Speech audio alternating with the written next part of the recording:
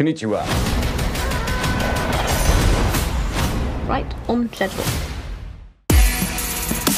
Deer Creek International Business Solutions, how can I help you? I am ready. Well, that's great, Ladybug. Ladybug. Your new operational name? Oh, I see what you're doing. Ladybug's supposed to be lucky. Ha!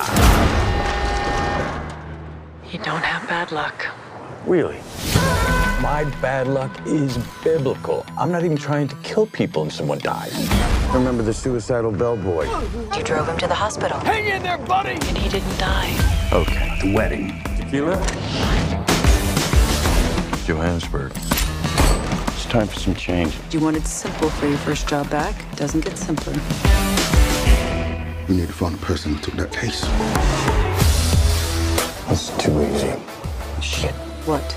Remember those two wackos from the Bolivia job? The twins? Yeah, not so sure they're twins. Get off the train.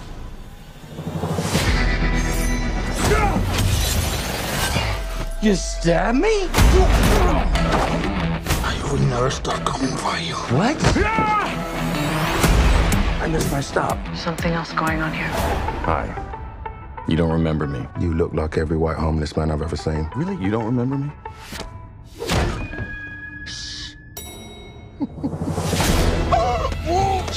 Eat a bag of dicks, lady. I'm sorry. I'm sorry. I'm I'm working on it.